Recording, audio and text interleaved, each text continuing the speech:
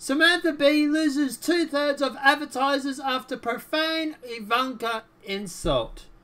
Comedian, and I use that word very loosely, Samantha Bee has reportedly lost more than two thirds of her advertisers since she called the first daughter, Ivanka Trump, a frequous C asterisk asterisk T.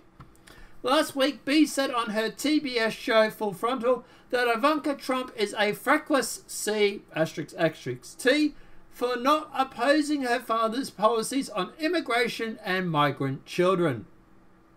Yes, because the people of America elected Ivanka Trump and not Donald Trump. Right? Makes sense? Not? But anyway, moving along. Bee apologized for the comments of her show on Wednesday night, but did not offer a direct apology to Ivanka Trump and seemed to blame the media for focusing so much on her potty mouth.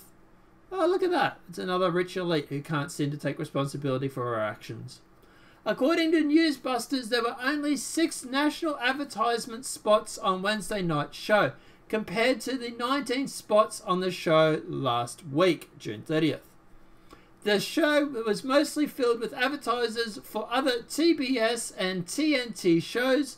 The remaining six national advertisers include PlayStation 4, Cascade, and upcoming movies like Ocean's 8 and New Jurassic World. Owen, Snickers, Jim Beam, and other companies that advertised on the show last week were conspicuously absent this time round. Alright, um, so look at the end of the day, what's the takeaway from all this? Look, I, I must admit, I don't like this. I'm going to boycott you unless you do something, this whole sort of attitude. Um, look, yeah, it's not the right that started it. It's definitely the left that started this dirty tactic. Um, but and at the end of the day, you can't really begrudge the right for using it because the left just don't seem to lack it up when they're doing it.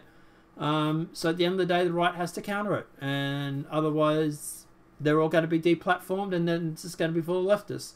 It's it's like teaching someone a lesson using their own tactics against them.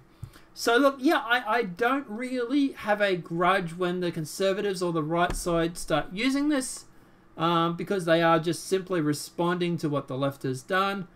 Personally, I would like both sides to stop. I would like both sides to stop using these dirty tactics at once. And, and then people can just go through and make jokes and, and say whatever they want to say without having a fear of losing their shows. Um, but that said, obviously, the fact that she still has a show is a big concern. Roseanne lost her show for having a tweet that she did at 2 o'clock in the morning when she was on medication. Samantha Bee was live on TV, as far as I know, and it wasn't 2 o'clock, and as far as I know, she wasn't medicated. You, you would think that Roseanne would actually, if you believe what she says, actually has more of an excuse to keep her show than Samantha Bee does. But instead, Roseanne lost her show. Samantha Bee just lost advertisers. You know, yeah, obviously losing advertisers is bad, yada, yada, yada.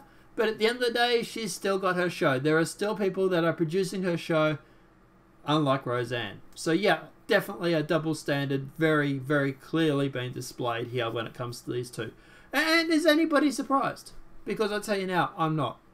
I, I called this when Roseanne when Roseanne went through and was laid off and fired or whatever you want to call it, redundant. I, and Samantha Bee, I was like, there is there is going to be a double standard. Samantha Bee will not lose her job, and it's disgusting. And producers and companies need to start enforcing the rules equally. Otherwise, you might end up finding yourself in court for discrimination. I don't know, guys. Let me know what your thoughts are in the comment section below. Do you like this whole dirty tactics that the left and right, obviously, admittedly, do use to to go after advertisers? Do you think that both sides of the politics need to stop? I get why the right uses it. I really do because they're in response. Maybe we can get the left to stop doing it, and then the right will then stop doing it, and then people can go through. Would you like that? Would you like people to be able to go back and make jokes online or do you think this is just going to be the new norm? Also, let me know what your thoughts are about this double standard. Do you believe there is a double standard when it comes to Samantha Bee and Roseanne, for example? I know some people have made the argument that Roseanne was more racial based, But at the end of the day, look, people on the left have gone through and made jokes regarding Trump looking like an orangutan too, so, you know. But hey, let me know what your thoughts are in the comment section below and we'll continue the discussion down there.